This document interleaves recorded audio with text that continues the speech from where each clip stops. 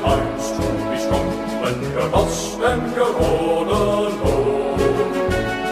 Might be somewhere strange and dark, but long to be safe at home.